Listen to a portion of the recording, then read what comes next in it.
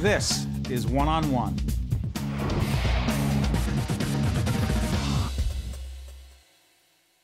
Dr. Mark Connolly, Chairman of Surgery at St. Joseph's Regional Medical Center, is with us. Good to see you, Doctor. Good to see you, Steve. I want to talk about um, certain minimally invasive surgeries, particularly when we talk about um, alternatives to heart surgery, open heart surgery.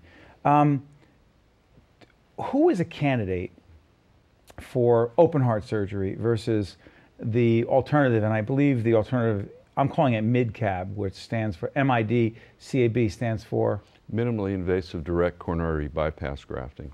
So if a patient presents with blockages of his heart arteries, in right. other words, he has chest pain when he walks or plays tennis, and he's found to have blockages of his heart, uh, his heart arteries, there's different options, you know, and it really depends on how many blockages he has. If he only has a couple blockages, then he's a candidate for this minimally invasive direct coronary bypass grafting where we actually use the Da Vinci robot. The, the Da Vinci robot. Right. We're going to be showing some video of that and right. film uh, shots of it. What is the Da Vinci robot? Well, actually, it's a, it's a very highly... We're actually looking at some video of it right now. It's, it's a highly sophisticated machine where you actually are able to put the physician, the surgeon's hands inside a body cavity. So, to, so what we do in this mid-cab procedure, someone presents with a blockage, usually with an artery on the top of their heart, and then we use the Da Vinci robot, putting actually our hands inside the patient and we sit away at a console. So we're actually manipulating these robotic articulating arms inside the body. And we take an artery down underneath the breastbone. It's called the internal mammary artery. And we use that for one of the bypasses. So the patient only has three little tiny ports that are about the size of your baby mm. finger where we put these arms in in a very highly sophisticated 3D HD camera so we can actually really see what we're doing when we're dissecting. So we take this artery down, and then after we, do, after, we, after we use the robot, we take the robotic arms out, and then we go ahead and make a little tiny three-inch incision, or usually it's about two-inch incision right underneath the nipple. And we're able to kind of spread the ribs a little bit, and the heart's right there. So we're able to take this artery and bypass the artery on the heart that has the blockage. So it's really a minimally invasive technique. Patients usually have their breathing tube taken out in the operating room. They're usually sitting in a chair six to eight hours later, they, and they end up going home in one to two days. Now, a standard operation where, right. you, where you go through the breastbone, the patient usually needs multiple bypasses. They have a lot of blockages, so you need more exposure, so you have to go through the breastbone. And it's a much more invasive procedure. The patient's usually in the hospital a little Is recovery longer. longer? The recovery is longer. The mid-cab patients go back to work sooner. They go back to their normal activities sooner. It takes about two months for this incision, the, the breastbone incision, to actually heal. So patients have about a, a two-month period where they really can't go back to work, particularly if they're a construction worker mm. or they do manual labor, because it takes time for that to heal. But doctor, not everyone is a candidate. I'm curious about this. Not everyone's a mm. candidate for the minimally invasive procedure right? That's correct. Who would be the more likely candidate? Well, it, it's a patient usually who has a blockage just on the artery on the top of his heart, but we're actually doing something. His or her. His, his or her heart. And we're actually doing something called a hybrid procedure. You know, patients can also be candidates for stenting. You know, they don't right. need surgery. So we're actually putting kind of the best of both worlds together, the surgeons and the cardiologists to do the stenting. So let's say a patient has multiple blockages and then the artery on the top of the heart is a very difficult artery for the cardiologist to actually deal with with stenting. So we do the mid-cab procedure with the robot. The patient usually goes home for a week or two, and then they come back, and the other arteries mm. that they have blockages in, they actually get stenting. So in that procedure, you go home the next day. So it's kind of getting the minimally invasive approach of, uh, of best of both worlds, really, I like to call it, between surgery and cardiology moving outside of the cardiac related uh, surgeries, what else can the Da Vinci do? Well, actually, cardiac surgery is one of the, the lower volume procedures in the United States. What's the higher volume? The higher volume is prostat prostatic surgery, prostatectomies, and also partial nephrectomies, where someone has a kidney tumor and they need part of their kidney removed. And one of the fastest growing is in GYN surgery, hysterectomies, myomectomies, you know, things that have to do with dealing with anything that's in the pelvis. And that's really growing substantially. Why is that? Um, it's just the progression of technology and the progression of surgeons kind of embracing the new technology and moving it into other areas. What I'm curious about is the training here. I mean, it's fascinating to look at the visuals, you know, mm-hmm. and you look at the, the, the, the, the mechanics of it, the technology, but the training of it, how does it take place? How long is it? How extensive is it? Talk about that. That's, that's a great question because there's actually been a recent lawsuit out in California. I heard about that. Right, where there's been some poor patient outcomes and they've actually suing the Intuitive, which is the Da Vinci robot company. At St. Joe's, we put a very kind of strict credentialing process in place. And uh, one of, we just have our robot for about two and a half years.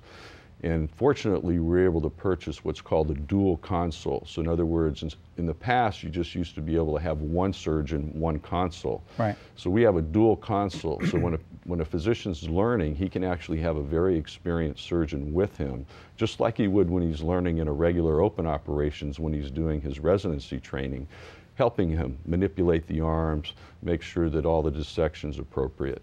And the other thing that we actually have is called a simulator. They develop these very sophisticated video type games where you're actually able to learn how to use the arms and use the robot without operating on a patient. And that technology has been around probably just about two years. So in the past, you used to kind of play around with the robot a little bit, maybe in a cadaver lab, and then eventually to patients. But uh, now we have these other facilities so that we can really have high quality surgery. For someone like yourself, given your position, and your experience, what's it been like for you to see these advances? It's pretty incredible. It's actually very incredible. When I trained in heart surgery you know, many years ago, everything was completely open, big incisions. I mean, patients had good results, but it's major, major surgery. But now moving into smaller incisions, minimally invasive incisions, the patients are happier. There's less stress to the body. So the patients actually reco recover quicker and there's actually better outcomes. There's less bleeding, there's less wound infections. So the complications that you see with the major operations are actually less with these.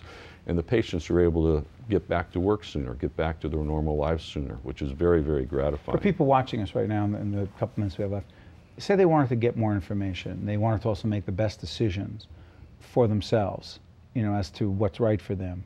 Obviously, they have to consult their physician, their surgeon, but do a lot of people go online and they just search Da Vinci, you know, or minimally invasive procedures? You can get good information, but isn't it sometimes on the internet it can be confusing? Yes.